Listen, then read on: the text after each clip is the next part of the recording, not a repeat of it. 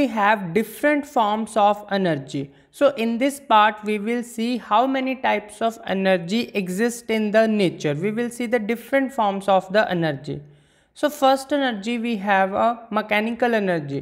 Mechanical energy is divided into two parts. First is potential energy, second is kinetic energy. What is the meaning of potential energy? Potential energy is the energy possessed by a body at rest in its change position or change in size and shape. What does it mean? Carefully see. For example, when ball is there and this ball is at some height from the ground. So energy is stored in the body that is called potential energy. And we have one rubber band. When we stretch the rubber band, it get deformed and energy is stored in the rubber band to come back to its original position that is called again a potential energy. So energy possessed by a body which is at rest and it is due to its change in position or change in size and shape. And what is a kinetic energy?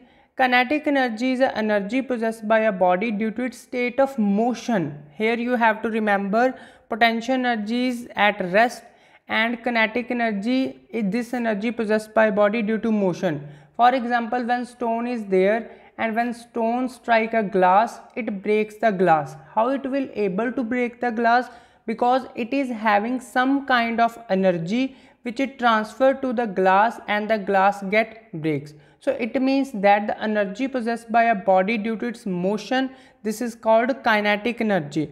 And sum of potential and kinetic energy will give you a mechanical energy. Solar energy the energy radiated by sun is called solar energy and there are some devices which collect this solar energy. These are called solar devices. Solar panels, solar, we have different solar cells and we have solar furnaces. So these are devices which concentrate or which collect this solar energy.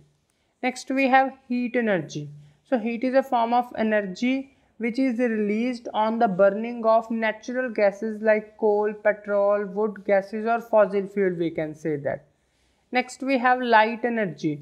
So energy which is used to see the object either through sun or through tube light any energy through which we are able to see the other things that is called a light energy. Next we have chemical energy. So chemical energy, the energy possessed by fossil fuels. In the fossil fuels, carbon is there which on burning produce energy such as coal, petrol, natural gases. These are having some energies which is in the form of chemical energy. So after that we will use in different form also. Next we have hydro energy. Hydro means related to water. So energy possessed by fast moving water that is called hydro energy even the water is standing that is comes under the potential energy part of hydro energy and moving water comes under the kinetic energy part of hydro energy next we have electrical energy. So electrical means related to electrons. So the energy possessed by the movement of free electrons. When uh, electrons are freely moving then whatever the energy possessed. Whatever energy is created by this free electron that is called electrical energy which we have seen in case of batteries. Next we have nuclear energy very very important. This is the energy due to loss in mass. When the mass will lose when the there is a process of nuclear fission and nuclear fusion. What is the meaning of nuclear fission? Carefully listen Nuclear word is related to nucleus. Fission means breakdown. Fusion means combine. When nucleus is breakdown into parts, into smaller parts, the large amount of energy is released. And vice versa also if the two nucleus or if some part is joined in the nucleus, then also energy is released that is comes under the nuclear energy. Next we have geothermal energy. In the earth crust, in due to the nuclear disintegration in the interior part of the earth, there is lava and magma which touch with the water body and make the water body too much hot. Okay, so this hot water is used by power plant to generate energy.